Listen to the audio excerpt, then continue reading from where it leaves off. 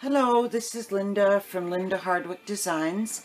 I'm here with part five for the photo mantle clock kit.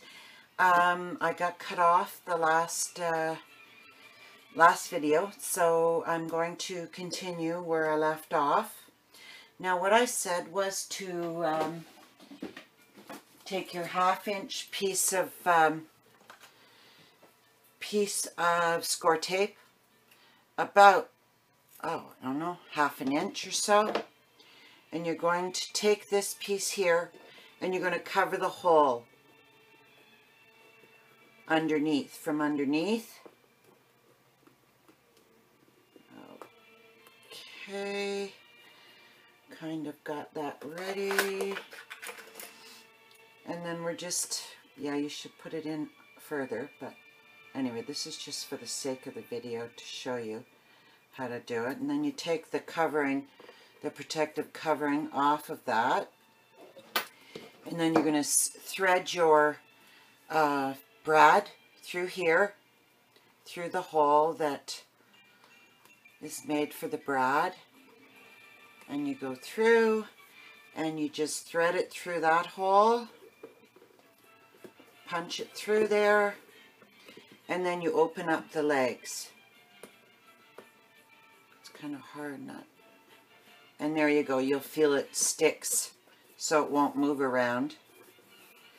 Now, what I've also done is I've taken the um, the clock movement and I have glued it in there. And you should leave it overnight to dry with the battery side down. You're pushing it all the way through the front. And what I've done, well, what's included in these kits, like, okay, back to where I started here. And you let it dry overnight, okay? And then you're finished. So let's say we've passed the whole night. And now what we're doing is we're adding the clock movement hands. And, um, yeah, so we're going to do that.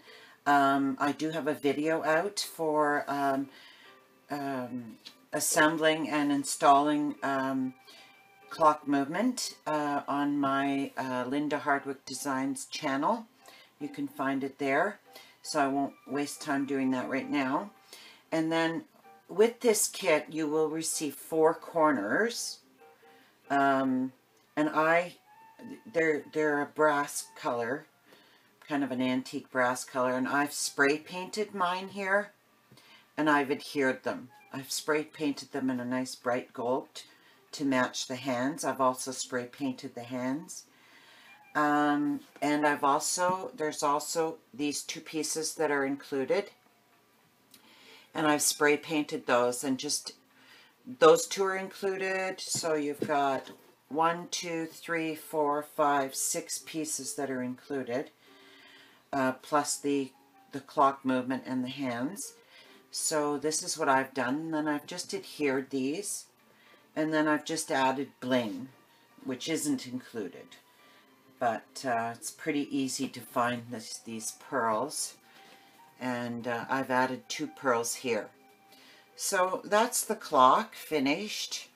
Um, and then what you could do is just slide your photos in there um, from the top on either side. You see, and that's your finished clock, your finished piece. That's at the back. There it is here. And if you need to get in there, you just add your battery in there. And I usually, you know, uh, put some kind of a uh, design, or not design, but um, created for you by so whoever you are. Okay, I hope you enjoyed making this kit. It's fairly simple to put together. Uh, and uh, this is like part five, so there are five short videos, all under 20 minutes. So anyway, um, oh, and I also put beads here at the hour hands. And this um, fake clock face is not going to be the same as the one that um, I'm including in the kit because I'm in the process of making the die right now. Uh, this belongs to um, Marianne Creatables that I've used there. So, um, her Clockworks uh, die. But um, anyway, I will include the clock face in a light color so you can ink it or, you know, sponge it or do whatever you want to match. It'll be a light color. Okay, so I hope you enjoyed this video and making this uh, clock. And I have several more clocks. Um, just uh, uh, ask your uh, local scrapbooking store. Um, and I really appreciate you joining me. Thank you very much. Have a great day. Bye-bye.